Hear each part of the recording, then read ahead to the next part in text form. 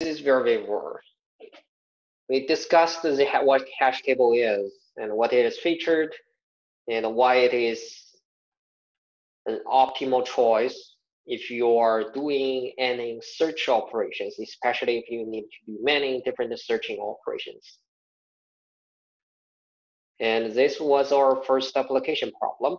We discussed how to solve those, say using hash table, because every time if you see any anything asking you to possibly perform a search, you need always to think about, like here is a find. You always think about if hash table can be possibly be applied. And we also mentioned that the hash table, if you use hash table on this, the time complexity would be determined by two segments of your code. The first one would be build a hash table. This means you need to hash map. You need to traverse the whole array to build it. That's runs on below thin. The second part, second part should be find out which item has or which key has a value as one. That means you need to traverse the whole hash map uh, key set. Traverse key set. Because the hash map key would be different from the length of the array, more or less like n divided by 2. as this is saying that every element appears two times. So if you divide it by two, this is what you got. If you add them together, that's still big O of n.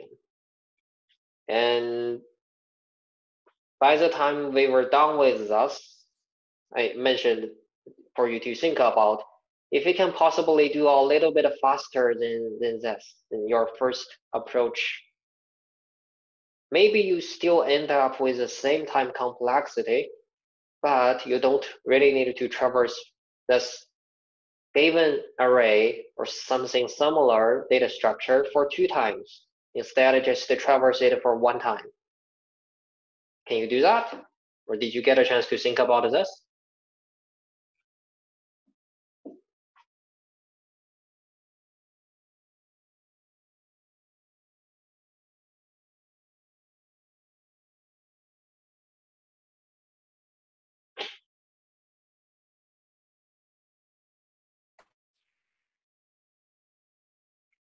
Could um, could you sort it and then um, sort the uh, array and then figure out if only if one of the numbers appeared only once between two numbers that appeared twice. So you're saying you need to sort this first? What's the time complexity of performing a sort?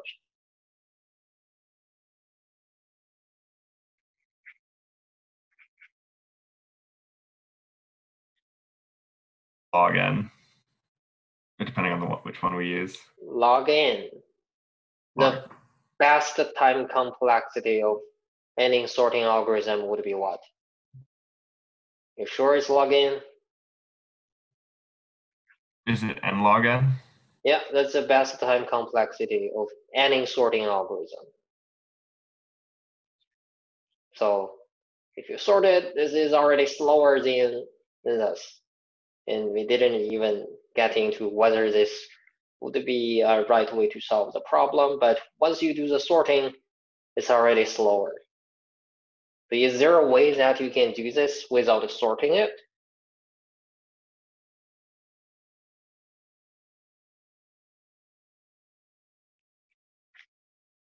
Sorting is always slower than just the traversal.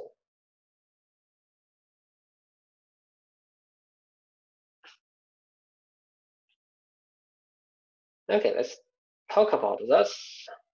Say, the last time we were discussing all the basic operations of of hash table. We mentioned one of the basic operation, which is thus, which is key set, right? What does this return? It returns a set. And we explained briefly what this means mathematically. It's more or less like a data storage that can only contain unique elements. If you have duplicates, it doesn't accept any duplicates. Do you think this can be applied here to make things easier? Appear appearing for two times, that means there are a bunch of duplicates. Nearly half of the elements are duplicates, but only one element that doesn't have a duplicate.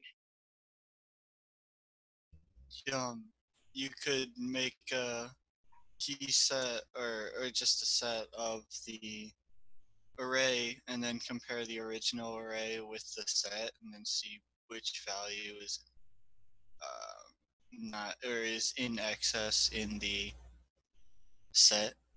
Yeah, you are on certainly on the right track. What if we start with a set? What if we start with a set? Let's define a set. Set only accepts reference data type as as a base type. So this has to be integer if you are dealing with int. But you don't really need to do anything to transfer int to integer or from integer to int. It's called auto boxing. Java will take care of that for you. We define a set.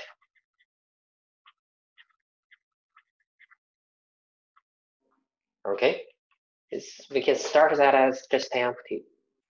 Then I'm gonna traverse the given data structure, which is the array nums, for one time. Traverse the array. Because you have to traverse the whole array to find the element. You really don't know where it is. Now let's let's clarify some details or say think about what you need to do during the traversal and how that would be related to the set that you have. This is another tool. Although this is not specifically required for you to know, and it does help solving a lot of problems. If you don't know this, it's gonna make your life more difficult. So how do we, what do we do with the set here? We know that it only takes unique values. Even if you put in a duplicate, it doesn't accept any. You can remove values from the set as well. It's very simple.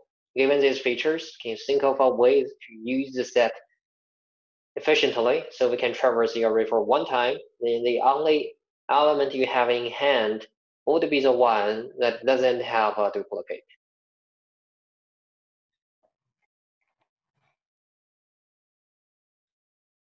would uh, would you be able to use contains key? Yes, of course you can use contains key the same, exactly the same method as it is in hash table. If you find this difficult to think of, let me give you an example.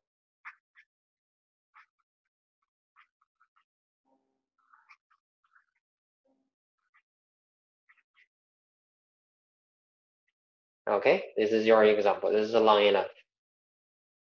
What do you do with it? We know that which one is, ah, my bad. Which one is the element you are supposed to return? Seven. What do you do with it? Now you have a set, some more setup. Can we do this? Say, for any element in this array, for any element in this array, I'm gonna put that into the set. I'm gonna put it into the set. So if you, do this, the set eventually would become what? One, four, five, nine, seven.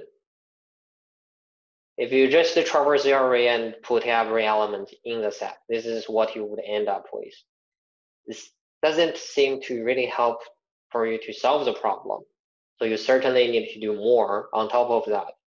What do you do? If you put another duplicate, say one, if it's already in the set, then if it comes to the other one, you could be able to check whether the set already contains the other one or not. If it does, what do you do? Delete it or remove it? remove it. Yep, remove it. Maybe that could be a way. Someone is asking, is there a method that returns one or zero depending on if the element was inserted into the set? No. When you insert something into the set, it's si silently done. But you can check whether there are elements already sitting in the set. If you add a duplicates, it end up silently as well.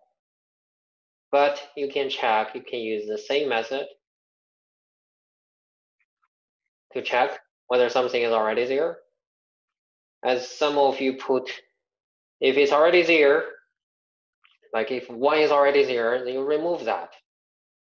If this is the case, if this is what you do, for any possible duplicates, you remove the stuff that's already in the set. What would you end up with in the set?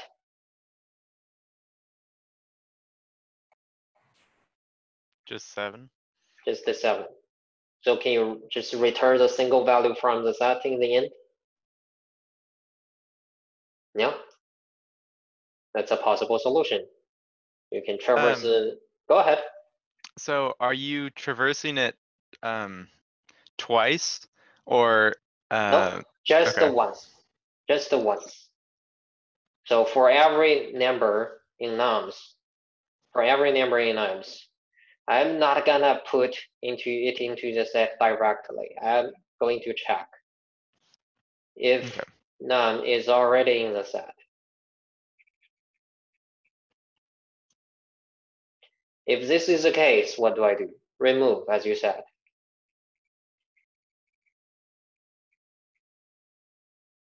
Ah, remove num. Else, what do I do? Else, I just put it into into the set. It might be a put or add. I forgot the syntax.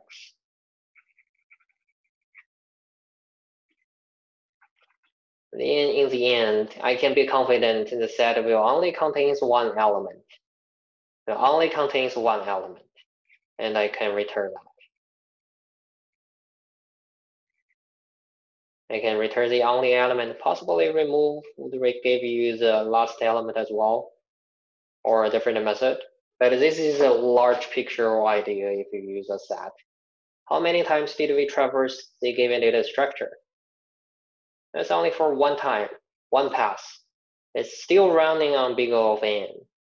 But we are literally faster than the first method we covered because we save ourselves from another traversal. Okay? Does uh, I'm sorry.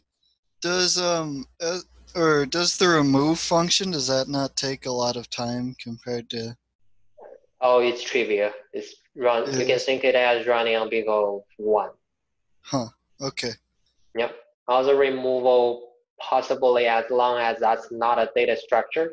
As, as, that, as long as that's not a tree structure, then it's all trivia. Okay. The tree structure may involve something like you need to restore the property of the tree, like what we covered on heap. That would be slow. But for this, this is more or less like a linear data structure. But also likely likewise, I'm assuming contains key is also trivial. Yep, contains key, as we said, we covered this, right? We covered how hash table works, how hash table works, and how you literally search for something. That's basically what it means by saying contains key. This is search on a hash table. For a set, that's the same idea. hmm That runs on big O of one time. Okay. Thank you. Yep.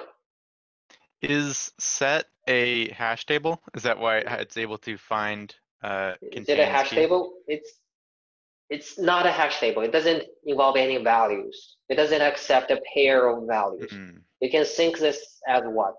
You can think set as only the keys of a hash table. Okay. Only the keys of hash table. a collection of uh, keys of the hash table. Does that help? Yes. Okay. So as we covered so many different application problems, you can see what, what are data structures. If that's not clear to you in the beginning, it should be more clear now. It's just a bunch of tools. When do you which use which tools? It really depends on what problem you're solving. So a key idea or key capability is to analyze a problem and understand which data structure is most mostly ideal for you to solve the problem to make your solution efficient. Okay, let's practice